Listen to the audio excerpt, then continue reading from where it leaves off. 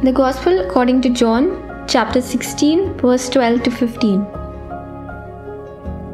Jesus said to his disciples, I have much more to tell you, but you cannot bear it now. But when he comes, the Spirit of truth, he will guide you to all truth.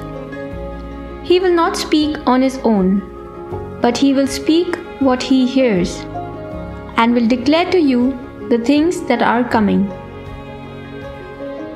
He will glorify me because he will take from what is mine and declare it to you. Everything that the Father has is mine.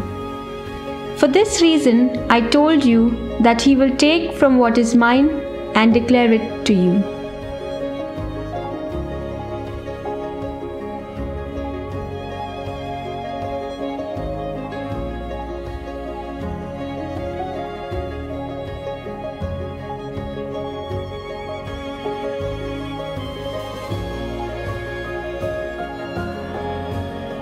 Words of the Holy Father. So, how does the Holy Spirit act in our life and in the life of the Church in order to guide us to the truth?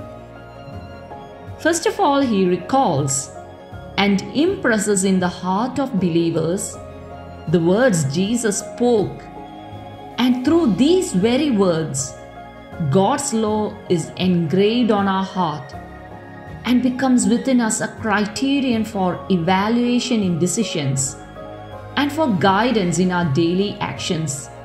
It becomes a principle to live by. For our actions come into being in our inmost depths. It is the heart itself that must be converted to God, and the Holy Spirit transforms it when we open ourselves to Him.